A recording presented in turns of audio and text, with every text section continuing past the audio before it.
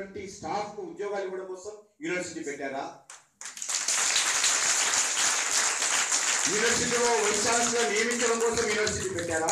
లేకపోతే విద్యార్థులకు ఏదైనా మంచి భవిష్యత్తు చూపి ఈ తెలంగాణ రాష్ట్ర అభివృద్ధిలో ఈ తెలంగాణ రాష్ట్రంలోని వ్యవసాయ శాఖ అభివృద్ధిలో ఈ విద్యార్థులను భాగస్వామ్యం చేస్తారని పెట్టారా? ఈరోజు ప్రభుత్వం చెప్పాల్సిందని కోరుతాను. వ్యవసాయం అభివృద్ధి చేయడం కోసం కానీ రైతులకు మేలు జరగడం కోసం కానీ ఇక్కడ ఈ యొక్క యూనివర్సిటీ పెట్టి ఇక్కడ నుంచి పట్టాలు తీసుకున్నటువంటి విద్యార్థుల యొక్క సేవలు ఉపయోగించుకొని తెలంగాణ రాష్ట్రాన్ని లేకపోతే ఈ భారతదేశాన్ని అభివృద్ధి చేసేటువంటి ఆలోచన ప్రభుత్వానికి ఉందా దేనికోసం మీరు యూనివర్సిటీ పెట్టారు?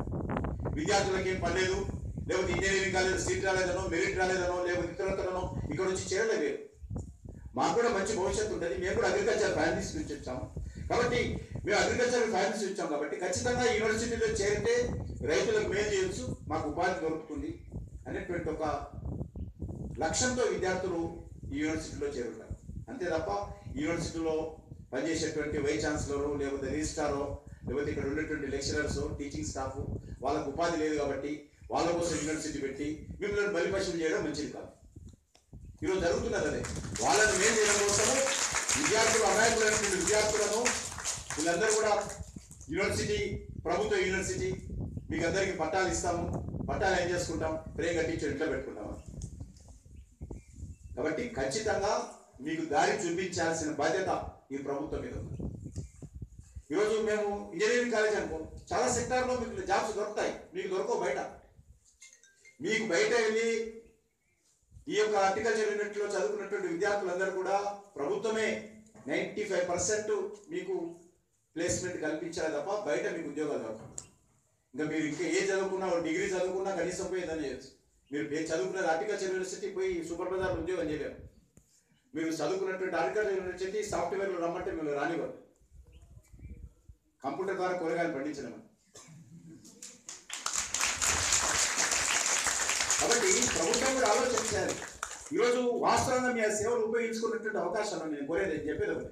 నిజంగా మీ అవసరం లేదు. మీ అవసరం లేదని ఒప్పుకుంటాను మీరు ఏం చెప్పారు ఈరోజు? సీడ్ బాల్ చేయబోతున్నాం తెలంగాణ అంతా కూడా. మీరుంటే సీడ్ బాల్ కూడా చేయొచ్చు. విత్తన విత్తన కూడా చేయొచ్చు కూరగాయలు పండించవచ్చు ఎక్స్పోర్ట్ చేయొచ్చు రైతుల ఆత్మహత్య రావచ్చు రైతులకు ఉపాధి కల్పించవచ్చు తెలంగాణ రాష్ట్రాన్ని అభివృద్ధి చేయవచ్చు అవసరమైతే ఎక్స్పోర్ట్ చేయవచ్చు అనేక రకాల అవకాశాలు ఉంటాయి.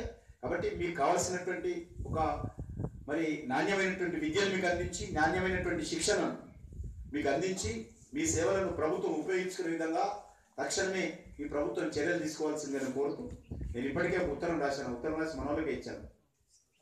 నేను ముఖ్యమంత్రి గారికి ఉత్తరం రాశాను. నేను ముఖ్యమంత్రి గారితో కూడా మాట్లాడతాను. కానీ ఇది ఈ ప్రభుత్వము డెమోక్రటిక్ పద్ధతిలో పనిచేసేటువంటి ప్రభుత్వం కాదు గుర్తుపెట్టుకోండి. మేము మేము చూస్తున్నాం. ఉన్నాం శాసనసభలో ఏదో మాట్లాడి మమ్మల్ని సస్పెండ్ చేస్తాం కాబట్టి అయినా భయపడాల్సిన అవసరం లేదు. మనం ఉద్యమాల ద్వారా వచ్చిన బయటకు వచ్చినటువంటి వాళ్ళం. తప్పకుండా చివరి వరకు కూడా మనము మన యొక్క న్యాయమైనటువంటి హక్కుల కోసం మీరు పోరాటం చేయాలి. నేను మనస్ఫూర్తిగా మీ ఉద్యమం చేస్తున్నటువంటి విద్యార్థులందరినీ కూడా మనస్ఫూర్తిగా అభినందిస్తున్నాను. విద్యార్థి శక్తి ఏంటో విద్యార్థి సత్తా ఏంటో మీరు ఉద్యమం ఉన్నప్పుడు కూడా ఈ ప్రభుత్వానికి మీరు మీ యొక్క సత్తా చూపిస్తున్నారు.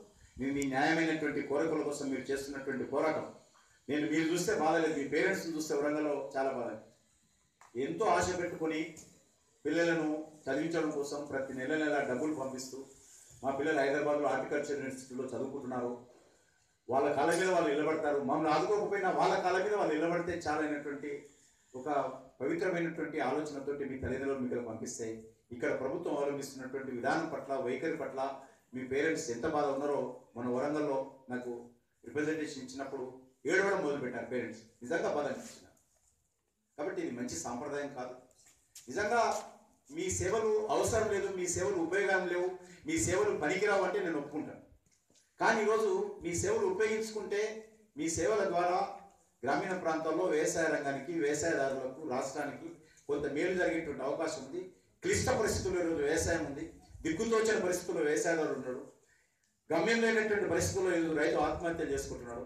కాబట్టి ఈ మీ సేవల ద్వారా రైతులకు ఒక దారి చూపించవచ్చు రైతుల ఆత్మహత్య అరికట్టవచ్చు. దాంతోపాటు మీరు చేసినటువంటి పట్టా ఏదైతే దాని కూడా మరి ఫలితం వస్తుంది. దాని కూడా ఒక లక్ష్యం నెరవేరుతుందనే విషయాన్ని నేను మనస్ఫూర్తిగా నమ్ముతూ భారతీయ జనతా పార్టీ తరఫున మీకు పూర్తి మద్దతు ప్రకటిస్తూ మరి ఖచ్చితంగా రానున్న రోజుల్లో మీకు అండగా నిలబడతానని చెప్పి ఈ సందర్భంగా మనవి చేస్తూ సెలవు